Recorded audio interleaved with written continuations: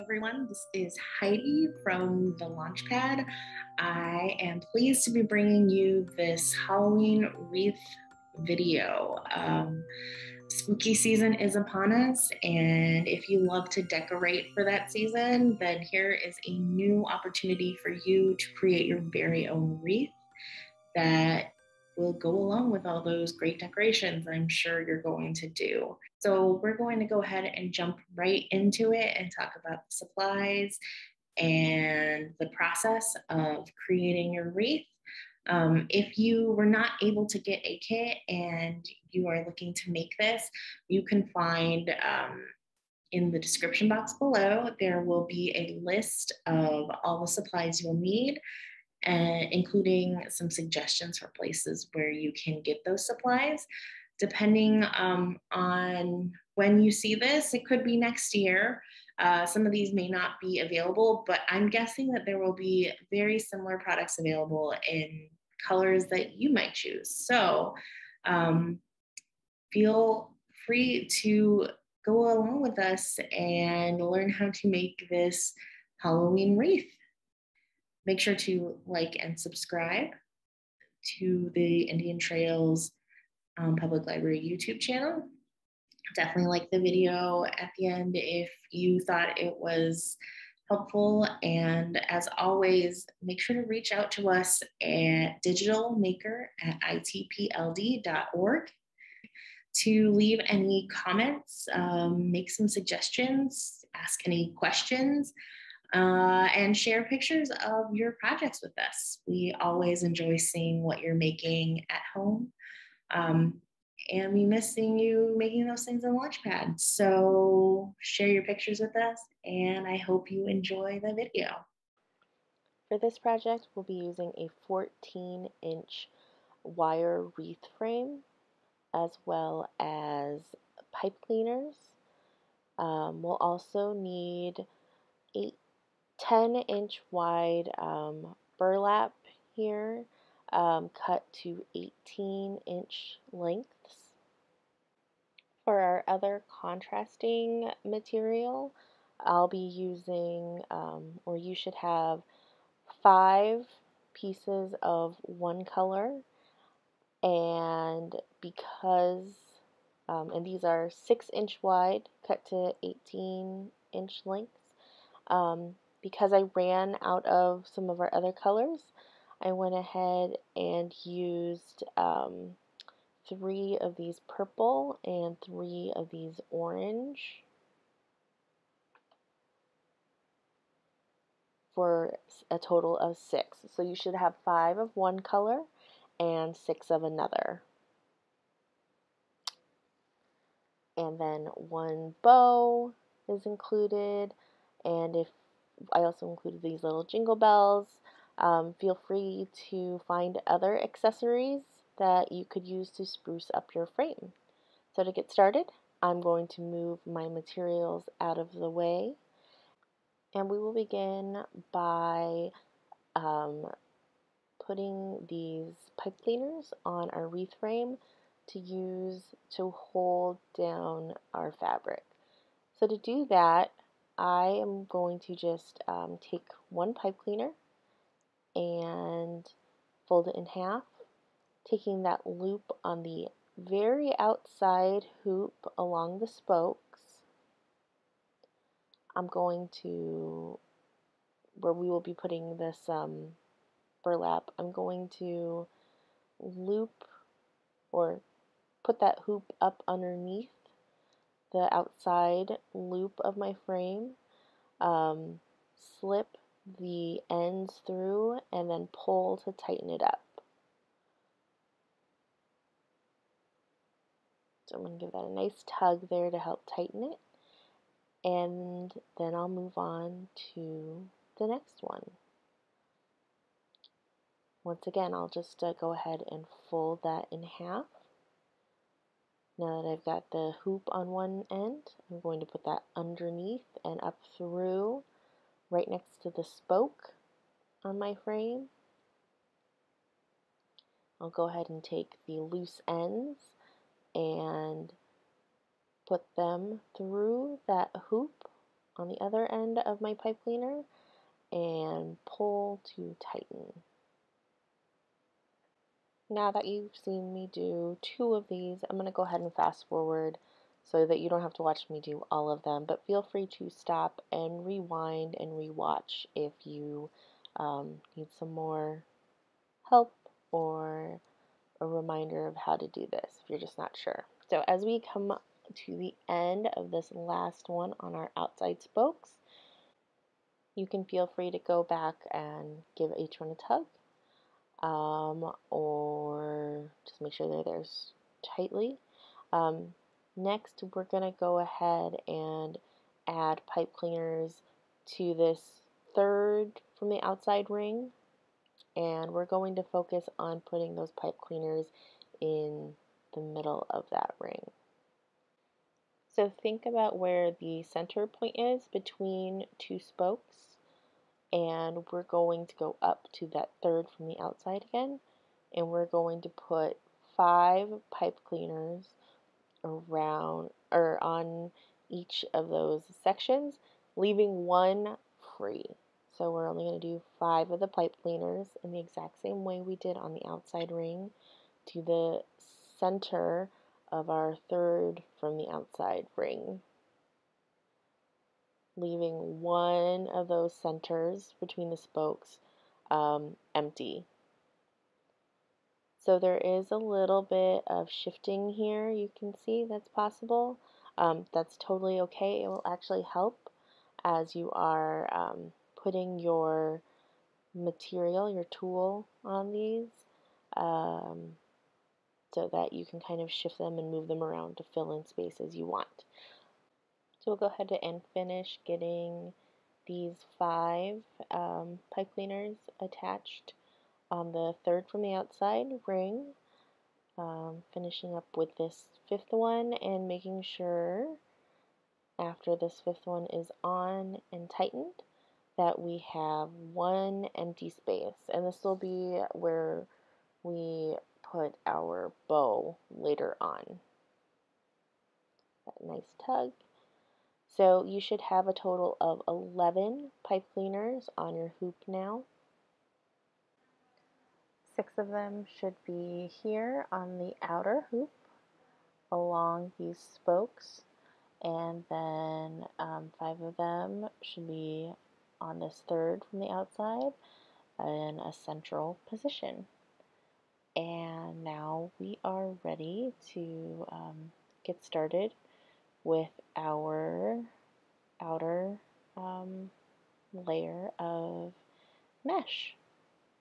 So we're going to, um, we'll move this to the side and uh, taking these um, 10 inch wide and 18 inch long strips, um, which the thing to remember with this is that this is a very forgiving process. So you might notice that uh, some of these edges um, are not perfect here. They might seem a little diagonal. Um, and as you work on your accordion fold, they might not come out perfectly or line up perfectly, but this is a project that is very forgiving and doesn't have to be for perfect. You're going to be able to kind of work on it and pull at it to get it into a place that you like. So we're going to start our accordion fold um, by folding down one edge. Then I'm going to place that flat and then fold it back over itself, making it about the same width as that first fold. Then fold it forward, fold it back, fold it forward, fold it back. Um, you might notice that it looks a little bit um, ragged on the sides. You may uh, kind of want to come up with your own technique of folding this. You might turn it over like I just did. Um, work with it to see how it's going to best work with your technique to get this accordion fold, but we're just doing it back and forth until we reach the end. So I'll go ahead and give it one, I believe, one last fold here. Well, we just have a little bit left, so we'll do it another. And your ultimate goal is to get kind of this bow-shaped looking piece that you've um, accordion folded. So if you have a shape that looks like this, you are well on your way to being successful. Now you'll pull your um, frame, your hoop, back towards you, and you want to take one of those um, pipe cleaners on the outside frame, part of your frame, and we're going to push one pipe cleaner, edge of the pipe cleaner up, and one down, and then we're going to press just about the center or as close to the center. It is not exact and it doesn't have to be exact um, into that and we're going to take those pipe cleaners and pull them over and across and give them a really good tug to secure it in place and or a tug to, to hold it there and then um, wrap your pipe cleaners one, two, maybe three times to um, secure your burlap in place. So we are going to use um, these pipe cleaners to attach our next section of tulle, so to the next um, ring there. So take one end of your pipe cleaner, so I'm going to take this right end, and I'm going to slip it up under on the left side of the spoke. Oh, sorry.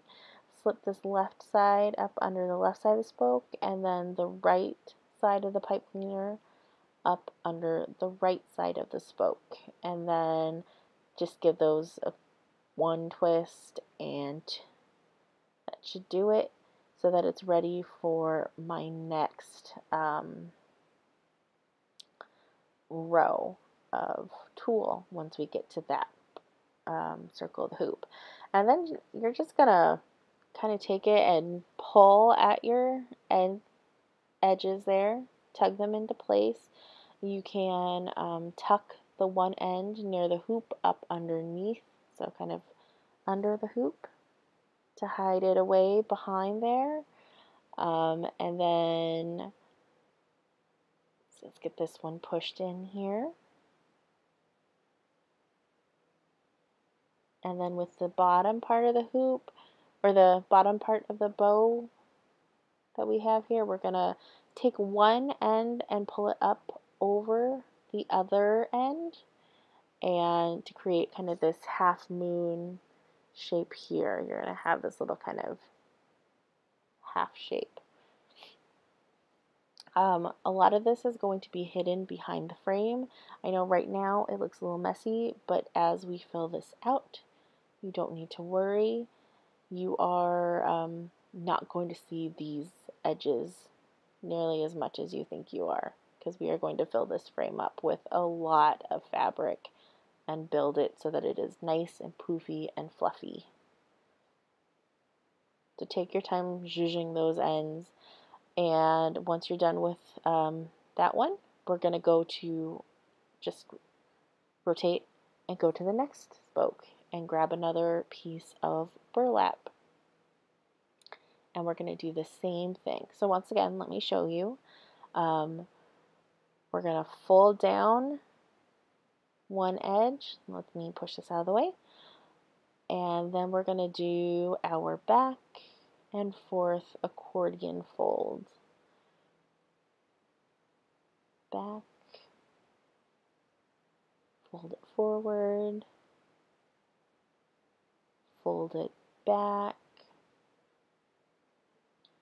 Um, you don't have to worry about your edges lining up perfectly. You would like to get approximately the same width of those folds, but those also don't have to be perfect because when you're pulling and moving things into position, you will be able to have a great piece, looking piece. And once again, I'm going to pinch it in the middle I have my bow shape right there. All ready to go.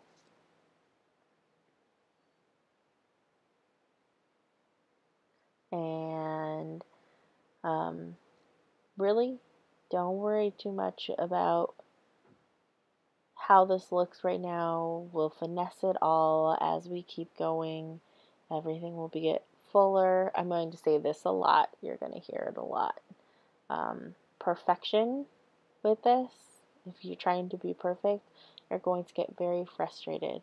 So just enjoy the um, process. And if it doesn't look like you want it to, you can easily let it go, just like I did.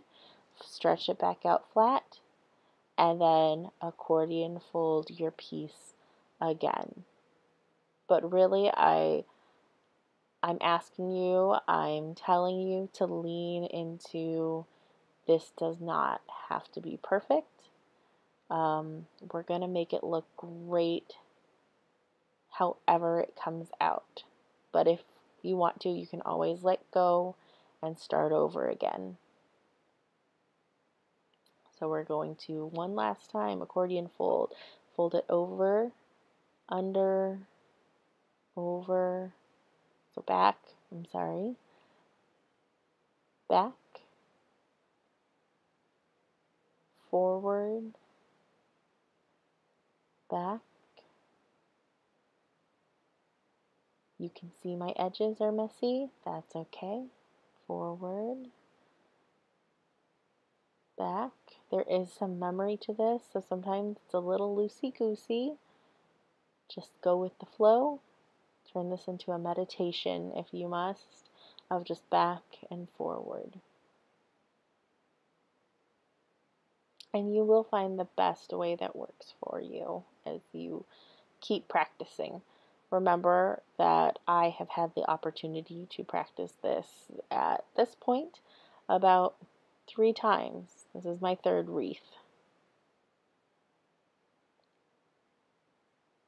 So let me grab this in the middle. I have my little bow here.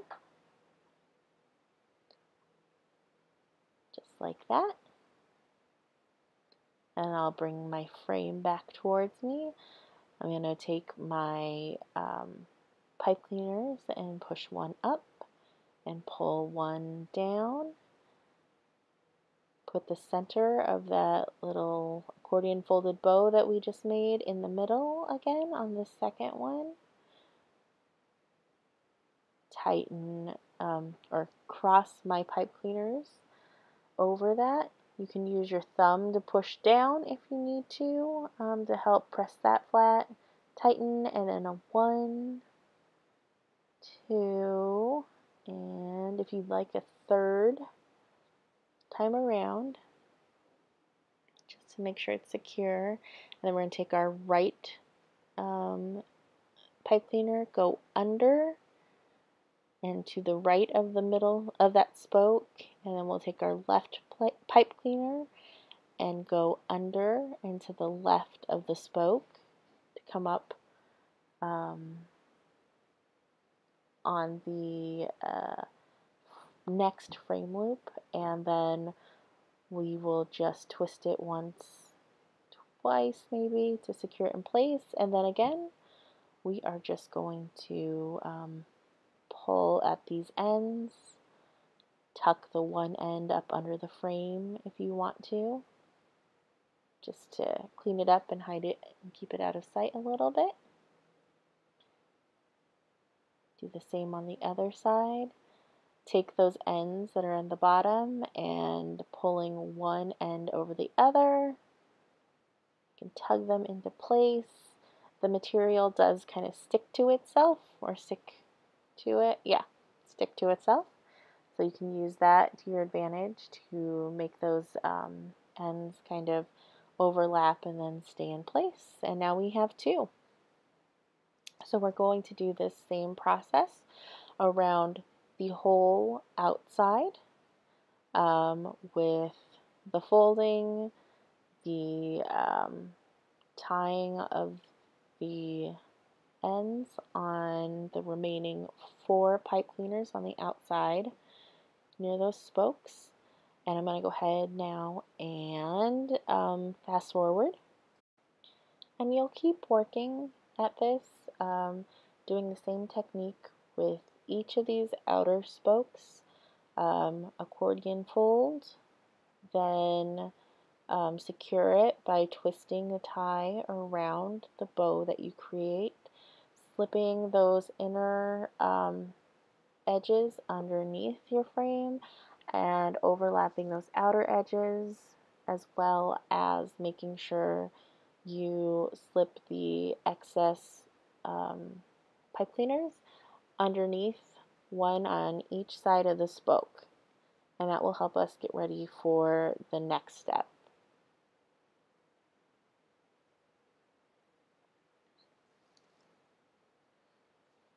If you at any point feel like you need to go back, please do so. Um, that's the beauty of a video like this is you can pause, go back, watch again, pause, go back, watch again until you feel comfortable. And as I said before, you can just let these go if you need to and start over again. So as we're coming up on our last accordion fold here, um, take some time if you want to pull and overlap some things, um, zhuzh them into place, as you might say, and then we will start getting ready to do our second row um, using the ends of our um, pipe cleaners from the first row. And for that, we will want to use the, um, for Q6, the color that came with six pieces. So um, once I get all of this into a place where I'm happy with, remember the second row that you do is going to fill in some of those gaps. So if it's still not perfect, that's okay. Um, go ahead and grab your six pieces. Remember for me, I am using two colors and I'm going to alternate my colors.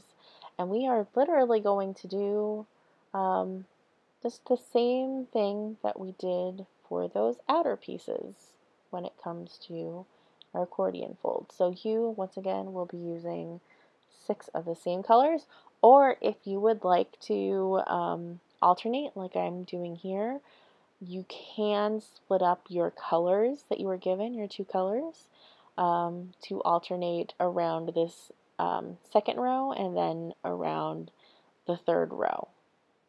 So um, to do that, you'll need to alternate. You'll need six, and then you'll need five left. So um, using these um, pipe cleaners that I had pulled up from the bottom, um, we are going to use these ones to secure and I'm going to go ahead and do my top and bottom make sure the pipe cleaners both the top and the bottom and then here's our old friend the accordion fold. You may find that it is easier to accordion fold this um, tulle fabric. It doesn't have the same kind of memory so it does make it a little bit simpler. So just uh, gonna fold that forward and back and forward and back until um, we have this nice little rectangle and I'm going to find that center point again and as you can see it makes a nice um, little bow there with some fluffy little edges and I'm going to go ahead and take that and pulling my frame back in front of me. Um, this time, instead of going up and down, I'm going to go left to right. It's a small change. It's not going to make a huge difference, but I'm going to do a left to right orientation on my pipe cleaners this time. Get that in the middle I'm pushing down with my, you know, thumbs or fingers. Um, cross those pipe cleaners over the top, pulling as tight as possible. And then go ahead and wrap those around each other once, twice. Um, you can always do a third time if you'd like to. After I do this, I'm going to turn it over and then go ahead and secure this and wrap it on the back. Once, twice, and we'll do a third time just to make sure it's nice and stable there.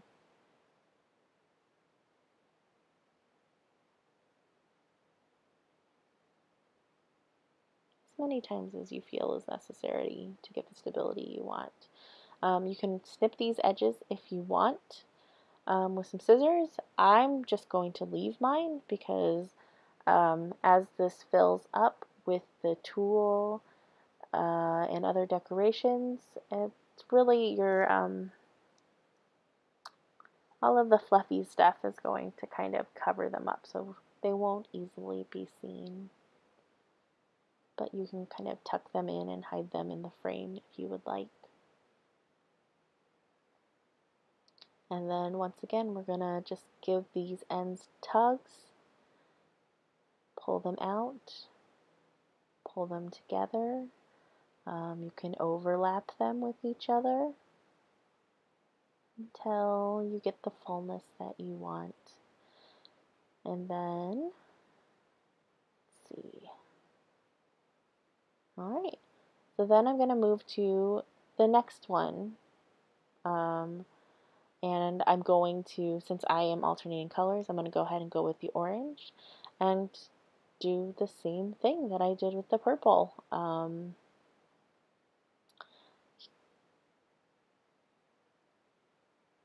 we're going to go ahead and get that ready, push it aside, and just like with the purple, I'm going to go ahead and I will accordion fold um, these strips the strip, I'm sorry, as well. So I'm going to go back, forward,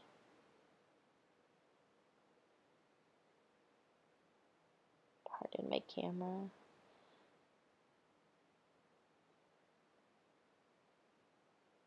Back, forward, back, forward, back, forward, and repeat that until I am all done with it and ready to attach it.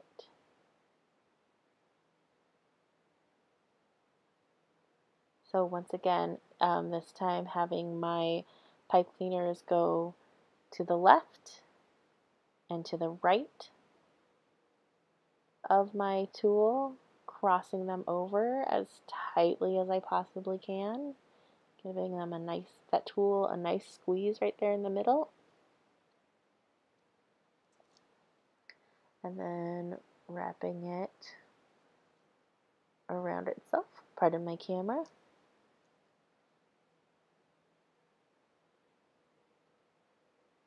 Wrap once, twice, I think I did three times. And then tucking that up under,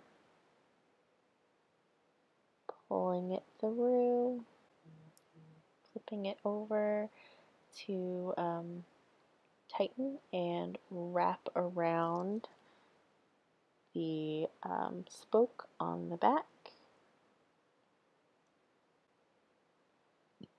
Turning it back over to the front so that you can um, pull it and fluff out that tulle just like we did with the purple one or whichever colors you may be using on this um, ring of your um, frame. So we're going to go ahead and fast forward again, keep alternating, or I will keep alternating colors.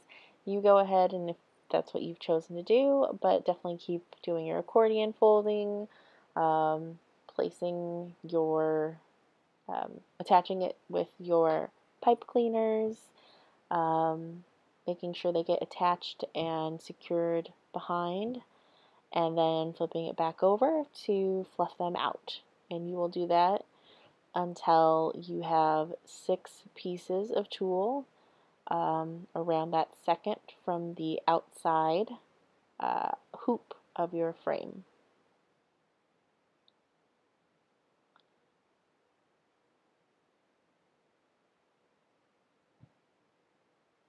So as we come up on our last one, we um, can flip it back over once you've secured it.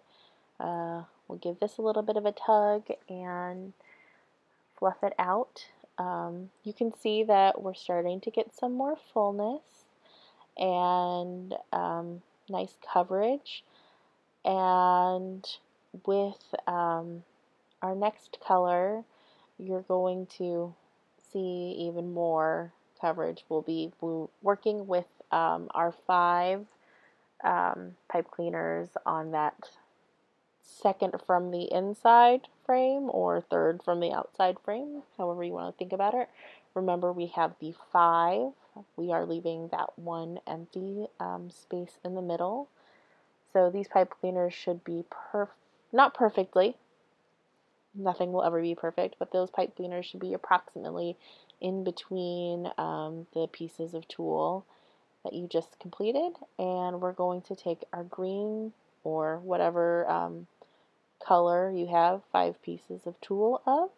And I'm going to go ahead and start fast forwarding here because at this point you should have a pretty good idea what to do. Um, oh, before I do that though, um, on this one. So we've done uh, on the bottom, we did our um, pipe cleaners top and bottom. On the second row, we did them left and right. So you can make a choice to do left to right, top to bottom. I'm going to go ahead um, and I believe I'm going to do um, top to bottom on these ones just like I did with my first row. Now I'm going to go ahead and fast forward through this, do your accordion fold, and attach these five pieces to your, um, that hoop of the ring, your five remaining um, pipe cleaners. So you will go ahead and um, just do like we've been doing with everything else to attach your tulle here uh, make sure to give it a pull it as tight as possible across the approximate center.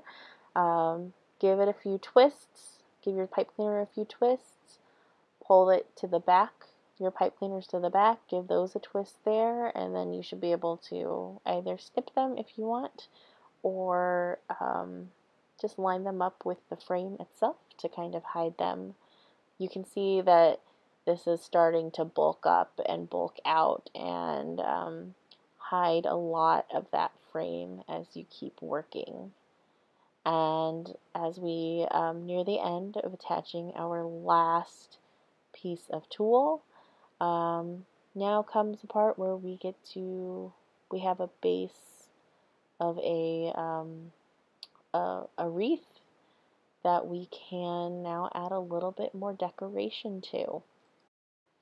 So we did intentionally leave um, that one area without any tulle. Um, feel free to go around, you know, and tug and pull and get things fluffed out to a point where you feel like things are uh, have enough coverage um, that you feel pretty pleased and happy with. Do not try to be a perfectionist about this um, just be happy. And now we're ready to um, add the one of two final pieces. There are a variety of ways of you can finish this off. Um, this little space that we left here, um, this is where we're going to attach our little um, glittery skull bow. I apologize for the mess of glitter uh, when I ordered these online, I was not able to see them up close, so I did not know how much um, glittery fallout you would be getting. But you can go ahead and press that there. Um, it comes, or if you want to avoid the glitter skull, you could consider doing some of these jack-o'-lantern jingle bells. Um, you could take the jingle bells and place them in a little group there in the center if you'd like.